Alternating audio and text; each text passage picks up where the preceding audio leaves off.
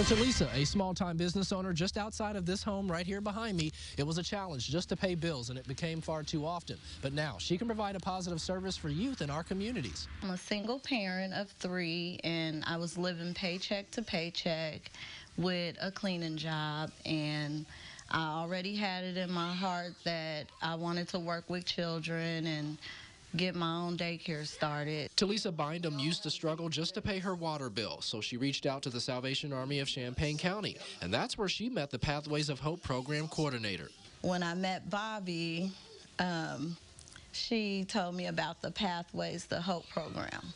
And from that point on, we basically um, talked about goals and um, how to get to overcome those goals and she gave me all the resources for it. Now, Talisa is the owner of Love's Daycare. Since March, she served kids 6 weeks to 12 years old, and then she got her teaching license in July, providing a positive, safe space like her grandma did for others. With her bringing people in and showing them love and directing them and guiding them, um, it was just a good, rewarding feeling. So I just felt like I want to be an impact on someone's life.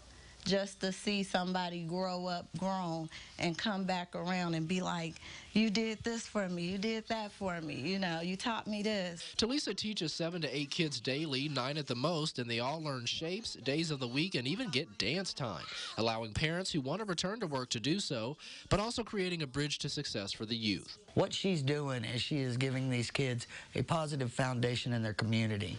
Um, and in doing that, those children are also going to want to make changes in other children, peer-to-peer -peer changes.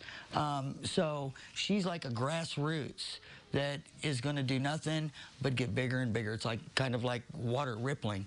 It's just going to keep expanding and expanding. That expansion is on the horizon as Talisa was a Head Start teacher's aide for eight years, and now they want to collaborate with her daycare by observing her work and offering grant money, giving her opportunities to elevate her business. I am working towards um, transportation for the children, so I'm working on saving for a vehicle.